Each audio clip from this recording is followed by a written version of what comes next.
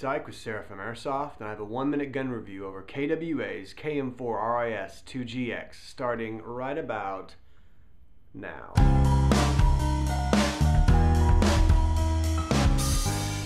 Alright, let's look at the exterior of this gun. We can say phrases like CNC machine two piece RIS system that doesn't budge, high quality aluminum upper and lower receivers, reworked crane stock, but what you really need to know is that group over at KWA is a bunch of geniuses. And they take out this magic genius dust and they sprinkle it over everything they make. I took a picture of this rifle and circled my favorite parts of the exterior of this gun. You know, it's hard to find a beautiful girl that also has a great personality.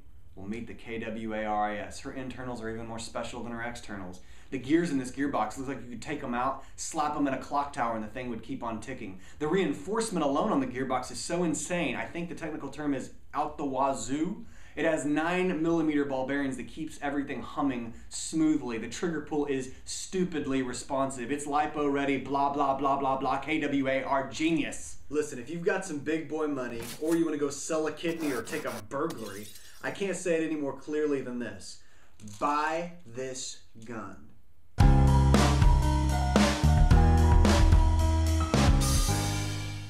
I don't know, Doctor. When I field my KWA, I- feel like it's just taunting the other players. And I feel guilty about that. After I kill them.